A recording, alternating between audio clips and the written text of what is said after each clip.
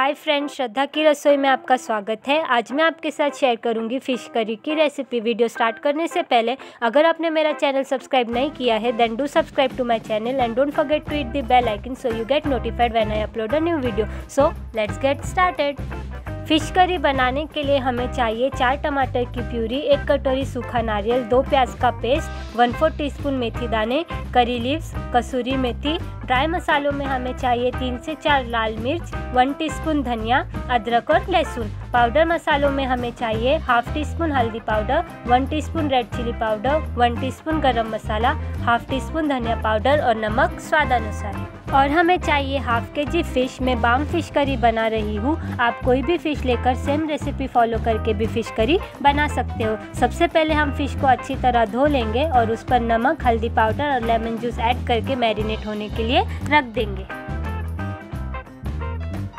अब हम नारियल, लाल मिर्च, धनिया और अदरक और लहसुन को ड्राई रोस्ट कर लेंगे और उनका पेस्ट बना लेंगे। ड्राई रोस्ट किए हुए नारियल और मसालों का पेस्ट बनाकर रेडी कर लिया है। अब हम एक पैन हीटिंग के लिए रखेंगे और उसमें तीन से चार चम्मच ऑयल ऐड करेंगे और फिर जो हमने मैरिनेट करके रखी थी उसे फ्राई कर लेंगे।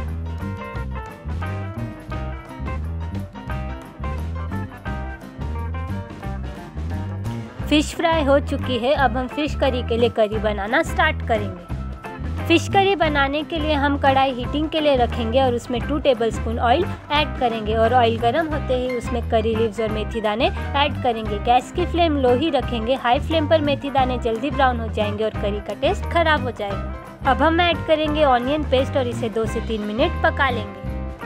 अब लाल मिर्च, लहसुन और अदरक का पेस्ट जो हमने बनाया था वो ऐड करेंगे और इसे अच्छी तरह मिक्स कर लेंगे। अब टोमेटो, प्यूरी और नारियल का पेस्ट ऐड करेंगे और इसी के साथ पाउडर, मसाले और सॉल्ट भी ऐड कर देंगे।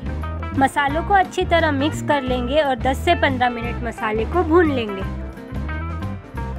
जब मसाले में ऑयल ऊपर दिखने लगे इट मीन्स कि मसाले अच्छी तरह भुन चुके हैं। अब हम इसमें one and half glass water add करेंगे और करी में बॉईल आने का वेट करेंगे। आप अपने टेस्ट के अकॉर्डिंग पानी कम या ज़्यादा भी ऐड कर सकते हो। करी में बॉईल आ चुका है और करी पर ऑयल भी दिखने लगा है। अब हम इसमें फ़िश जो हमने फ्राई की थी वो ऐड करेंगे और सिर्फ़ एक बॉईल आते ही गैस की फ्लेम ऑफ़ कर देंगे। करी में बॉईल आ चुका है। अब हम ऐड करेंगे कसूरी मेथी और धनिया और इसे एक सर्विंग प्लेट पर निकाल लेंगे। बहुत ही टेस्टी फ़िश करी बनकर रेडी है। खाओ, खिलाओ subscribe to my channel comment if you have any suggestions for me bye